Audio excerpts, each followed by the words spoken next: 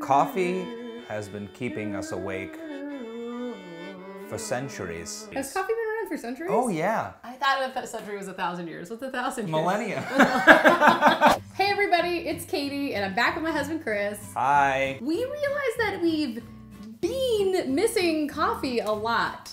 I did the pun today. We've been missing going to Starbucks and getting that weekly pick me up. Yes. I thought I could replicate our Starbucks order for tomorrow morning. Ooh, that sounds fun. We should do the the salted cold foam cold brew. Oh, the, salt, salted cream. salted cream cold. It's this. Oh no, it's cold, brew with salted, cream, cold foam. foam. What? and a lemon loaf. yes, that sounds great. I feel bad. I'm not doing anything to help. Uh, you have real work. I to do. I do. I work. This is my job. Did you give me finger guns?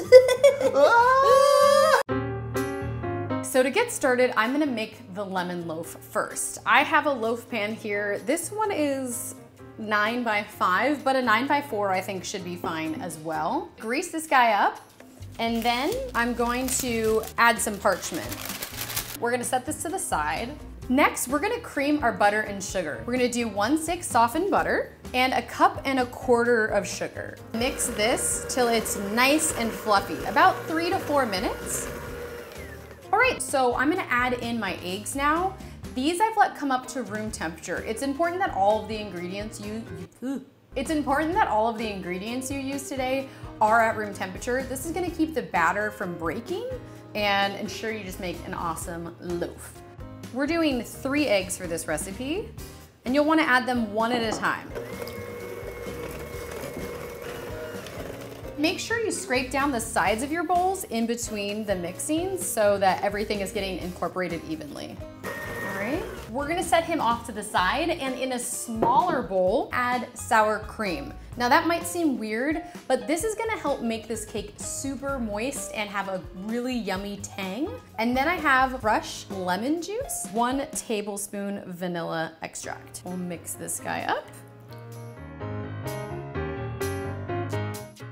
Set this off to the side as well. Now we're gonna add our dry ingredients. I've got some all-purpose flour, a little bit of baking powder, and a teaspoon of salt. Whisk this up, perfect. Okay, we're gonna bring back in our eggs and butter and sugar. We've got our sour cream also on the side. We're gonna alternate mixing these in one at a time so we don't over mix the batter. And this is gonna make sure that our loaf is nice and fluffy and doesn't get tough and dense. Tip Tipperoo. Tipperoo?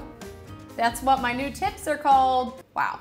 So I'm gonna add about a tablespoon of lemon zest. You wanna make sure when you're zesting, you don't go down to the white part of the rind because it's really bitter and, oh. I think that that is a tablespoon. Bam! I'm gonna just gently fold this in. Now that we've incorporated our lemon zest, pour this into the loaf pan. Smooth that out. Okay, Let's bake this at 350 degrees Fahrenheit for about 50 to 60 minutes, just until I can put a toothpick in and nothing comes up with it. Let's bake my little baby. Bam! Our beautiful lemon loaf has baked. It has cooled for about an hour. And now I'm gonna make a lemon icing to go on top. Sift powdered sugar. This is just gonna get rid of any clumps and make sure we have a perfectly smooth icing. Add some milk and most importantly, some lemon juice. And then we'll take our spatula and we'll just mix that right up. You should use a whisk, not a spatula. I don't know why I did this. Whisk it up to get out any of those clumps. Once this is all combined, drizzle it over the top. And then you can just take your spatula and smooth it around so that everything is covered nicely. I'm gonna let this glaze set for about 30 minutes. Then I'm gonna put some plastic wrap over it and keep it on my counter overnight. All right, let's get working on the drink. The reason I like cold brew better than hot coffee is the hot water can actually bring out those bitter acidic notes in your coffee, Well, cold brew has this smooth taste and it is super easy to make. I have my six cups of water, add my two cups of coffee. Try not to spill it all over your counter. Once you've added your coffee, stir it up. Okay, I'm gonna go put some plastic wrap on this, stick it in the fridge, and move on to making some yummy caramel syrup that's gonna go in our cold brew. We're in a new location. What am I doing? So first thing we need to do is add sugar.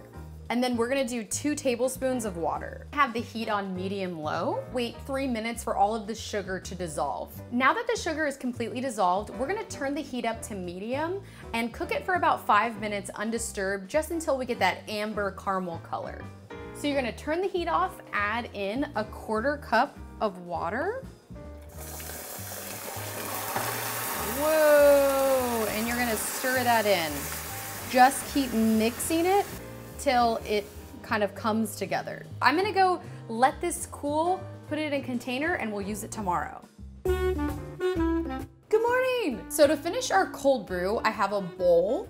I also have a fine mesh strainer and I have a coffee filter. Place it inside my strainer, and then we're just gonna pour our cold brew over it. And just to show you guys, it is slowly dripping through.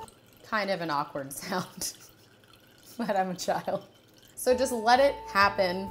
It might take a little while, but it, it is worth it. Okay, so we've poured our last bit and you guys can see there's all this sludge at the bottom. I once put this down the sink. I clogged the whole drain. I had to go buy a drain sink. Don't do it. Okay, our pitcher is clean. Our coffee has been strained. I'm gonna add this back to our pitcher. Definitely try your coffee and if it's way too strong, just add a little bit of water. I'm gonna go put this in the fridge and we're gonna prep our final element.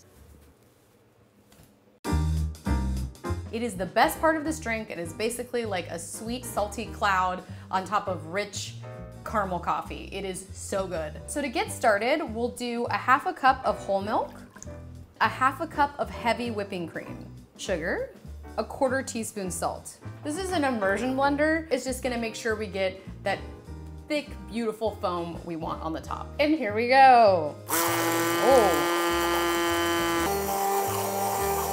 Now that our foam is ready, it's time to assemble our drink. So I'm first gonna get two glasses, fill them with ice, and a little bit of our cold brew.